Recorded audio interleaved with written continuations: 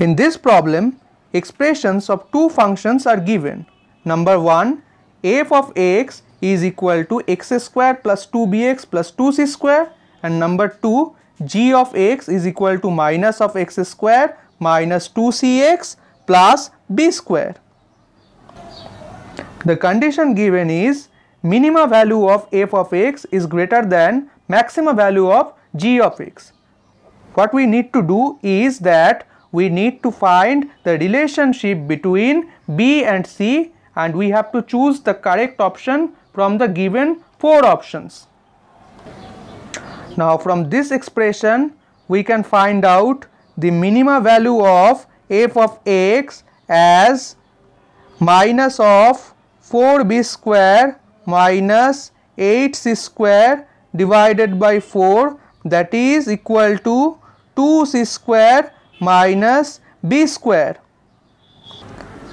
In the same way from the expression of g of x we can find out the maximum value of g of x as minus of 4c square plus 4b square divided by 4 into minus 1 which is nothing but b square plus c square.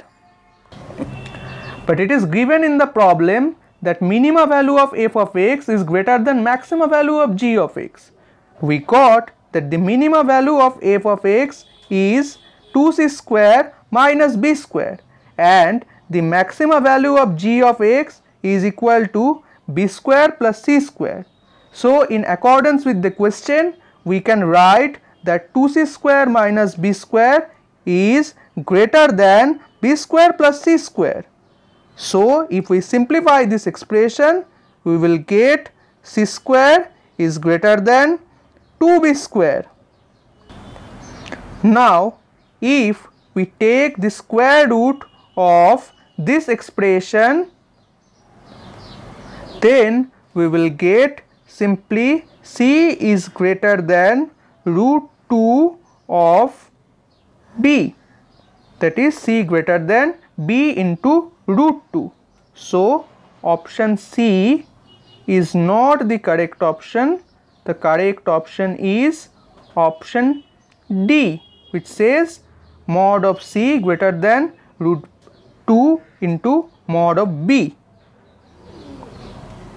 We can also express it in this format.